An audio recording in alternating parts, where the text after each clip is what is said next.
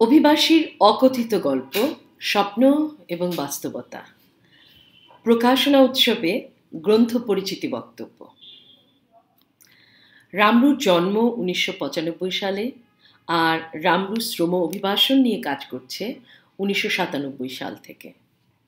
অভিবাসীর অধিকার, অভিবাসনের সুশাসন, নারী অভিবাসন রেমিটেন্স ব্যবস্থাপনা, বৈশ্বিক সংকটের মুখে অভিবাসীরা যুদ্ধাবস্থায় অভিবাসীরা, আন্তঃসীমান্তে অভিবাসন, অনিয়মিত অভিবাসন, সমুদ্রপথে অভিবাসন। এসব বিষয় নিয়ে গবেষণা পলিসি অ্যাডভোকেসি বা মাঠ পর্যায়ে তাদের সংগঠিত করতে যে দীর্ঘ ২০ বছর ধরে বহু নারী এবং পুরুষের দুঃখ এবং সুখের গল্প রামরুর কাছে জমা হতে থাকে। এদের দেয়া তথ্যের ভিত্তিতেই আমরা প্রবন্ধ লিখেছি, অনেক বই লিখেছি। কিন্তু গবেষণার থাকে নিজস্ব একটা কাঠামো এবং নিজস্ব হাইপথেসিস তাকে প্রমাণ বা অপ্রমাণ করতে চেষ্টা করে যেতে হয়। থাকে নিজস্ব যুক্তিতর্ক। সেই সব লেখায় অনেক সময় অভিবাসীদের নিজস্ব কণ্ঠস্বর হারিয়ে যায়। না চাইলেও তারা পরিণত হন কিছু পরিসংখ্যানে। ভেতরকার দায়বোধ থেকে অনেক দিন ধরেই চাইছিলাম তাদের কণ্ঠে, তাদের বিচারে, তাদের অভিবাসন অভিজ্ঞতা তুলে ধরব। এই চিন্তার ফসল হচ্ছে এই বইটি।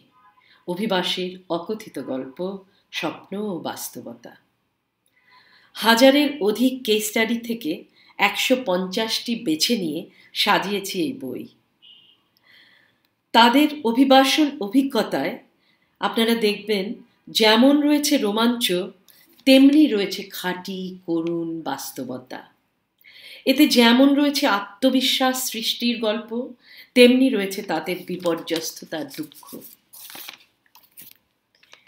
এই বইয়ে, বইয়ের মাধ্যমে বারো বছর কুয়েতে থাকা সেই জামিলাকে তুলে ধরতে চেয়েছি, যে বলতে পারে অভিবাসনের মাধ্যমে আমার মাঝে এক নতুন আমি তৈরি হয়েছে। সেই আক্কাস আলীকে সম্মান করতে চাই যে বলতে পারে, আমি জিরো থেকে হিরো হয়েছি। তুলে ধরতে চাই এমন অনেকের কথা যারা বলেছেন, ছিলাম ঋণী, হলাম ধনী। বা, অভিবাসনের পরে আমাকে আর পেছন ফিরে তাকাতে হয়নি। কেউ বা বলেছেন, যাই ধরেছি, সোনা হয়ে গিয়েছে। মোহাম্মদ বেলাল হোসেনের শক্ত স্বর যখন তিনি বলেন, দারিদ্র আমাকে আর পরাজিত করতে পারে না। সৌদি গেলাম, সিঙ্গাপুর গেলাম, কিন্তু সফলতা এলো এই পোড়া বাংলাদেশে। বড় সুন্দর এই বাস্তবতা।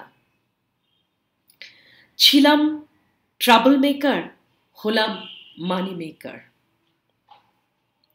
আমাদের প্রকাশিত প্রবন্ধ তুলে ধরতে পারেনি সেই রাশেদার আকুতি যে বলেছিল, কোথাও শান্তি পায়নি না দেশে, না ওমানে। আবুল বাসারের বাস্তবতা কি করে আনব আমাদের গবেষণালব্ধ প্রকাশনায় যখন সে বলে, অভিবাসন আমাকে গড়েছে, আবার অভিবাসনই আমাকে ভেঙেছে।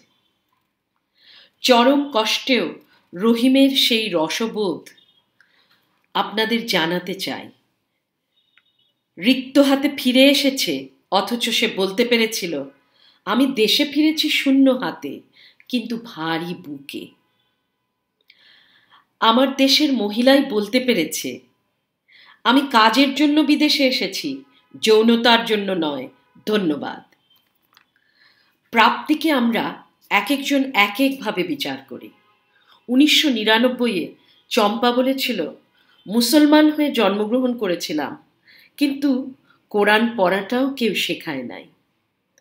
আমার গৃহকর্ত্রী আমাকে শেখান কোরআন পড়া, এই তৃপ্তি রাখব কোথায়? নারীর ক্ষমতায়ন কোন পর্যায়ে যখন সে বলে অযোগ্য স্বামীকে খুশি রাখতে দেশে ফেরার চেয়ে সন্তানের উন্নত জীবন তৈরি আমার কাছে অনেক গুরুত্বপূর্ণ।